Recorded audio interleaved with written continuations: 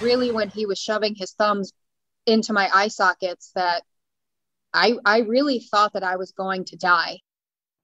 A North Royalton man convicted of brutally attacking and injuring a police officer in 2019 could be a free man in the coming days after serving only nine months behind bars.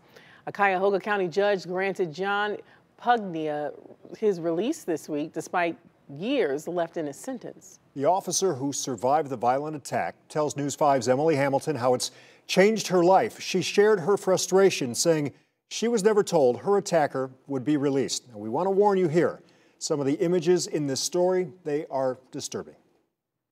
North Royalton police officer Alexandra Bell says the violent attack often plays on mental repeat a year and a half later. I remember like it was yesterday. That was by far the worst and scariest moment of my life. Officer Bell, who did not want to be interviewed on camera, says she tried to carry out a routine traffic stop outside John Pugnia's home on Lynn Drive after both he and his vehicle matched the description of a person and a car involved in a road rage incident earlier that day. As I got closer to him, I could immediately tell that he was intoxicated and he was argumentative with me. The incident turned violent quickly, with Pugnia shoving Officer Bell to the ground, repeatedly punching her in the face and head, and attempting to gouge her eyes out. Injuries that sent the officer to the hospital. He looked at me dead in the eyes and said, I'm going to kill you my daughter, you know, she was four years old. That was the only thing that I could think of. So, after being sentenced to four years behind bars for menacing and felonious assault, why was Pugnia granted a release by Judge Daniel Gaul less than a year into his sentence? I had not been notified that there was a hearing. I